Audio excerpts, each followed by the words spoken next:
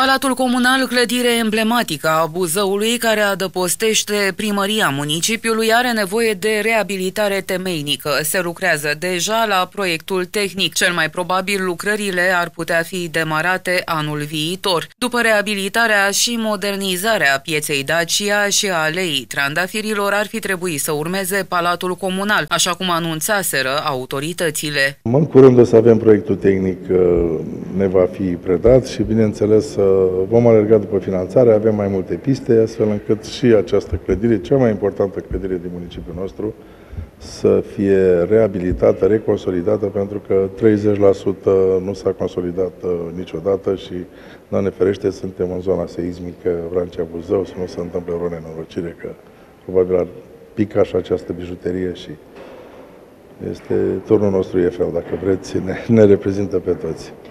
Mai multe servicii ale primăriei au fost mutate deja în sediul numărul 2 din piața teatrului, așa că reabilitarea Palatului Comunal nu va produce prea mare deranj printre funcționari. Clădirea Palatului a fost construită în perioada 1899-1903